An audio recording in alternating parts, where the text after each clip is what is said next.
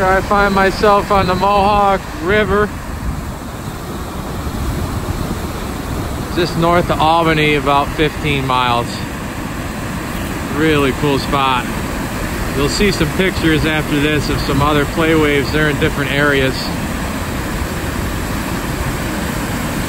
This rapid, not so much fun. Got a big eddy of death over here. This goes into like a little cove. And there's nothing.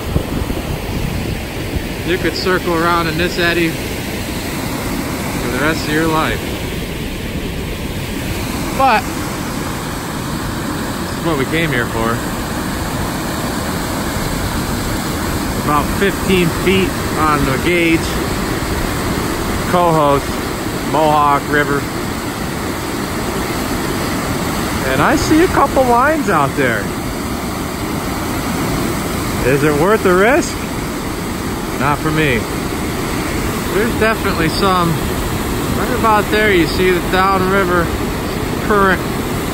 Maybe right there. And then definitely something right here, but that's a meaty little curler.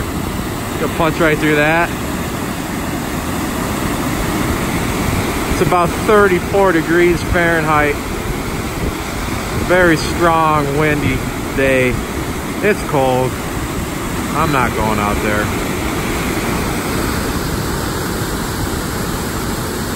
I need a partner in trying to talk me into this stuff. Came up here to get rid of a dog with the missus. She's in the way. Sweet pumpkin van. I know, I hate it too.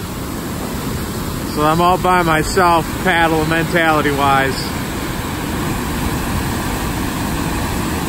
That means I'm going to Dinosaur Barbecue. Gonna eat a fat rack of ribs and get drunk. Make her drive home. If I'm not gonna paddle, I'm gonna have a good time anyways. Anywho, hope y'all are having a good day. See you at the next adventure.